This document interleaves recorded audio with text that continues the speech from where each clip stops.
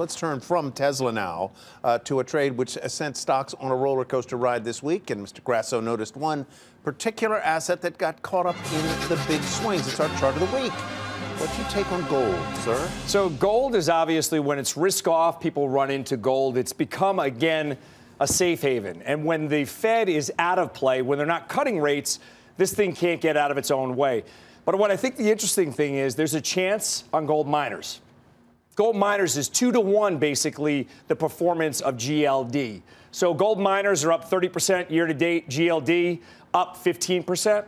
You're going to get your chance in January, February, March to buy gold. When the market is When the market risky, starts, I believe, starts to run into a couple of headwinds where the long short hedge funds want to take a shot at it again on the bear side. Yep. And I think you play GDX for that beta play. and that's the stocks.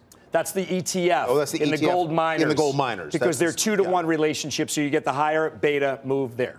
Thoughts on gold? Well, look at PGMs overall. Look at the move in platinum and palladium this year, which are you know tend to be, especially in the face of what's been going on in the auto industry. These are very bullish signs for metals, precious metals across the board. Uh, there was a time we said gold rallied on everything, um, and in fact, I do think you have a dynamic here. If we are searching for inflation and we have growth, gold will be under some pressure.